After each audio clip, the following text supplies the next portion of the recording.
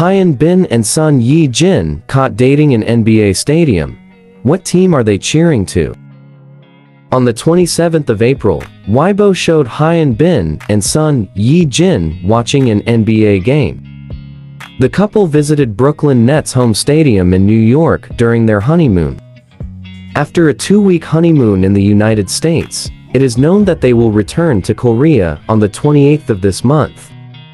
The agency VAST and MS Team Entertainment said, the return schedule is private and cannot be confirmed. On the 24th, there were also reports of the couple's honeymoon trip. A Chinese netizen explained with the photo, Son Ye Jin and Hyun Bin are eating at a restaurant. In another photo the couple is walking down the street wearing couple sneakers. They also freely interacted with each other, such as holding hands and clasping arms. The couple went on their honeymoon to Los Angeles on the 11th. It has been 11 days since the wedding.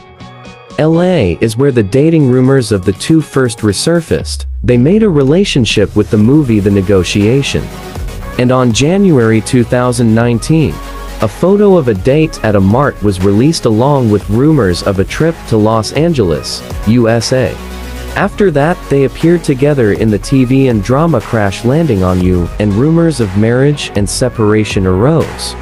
After a total of three denials, they admitted that they were dating in January 2021, after the Crash Landing on You ended. They met with a crush on each other and developed into a romantic relationship and finally waiting for another chapter of their life, which is parenthood.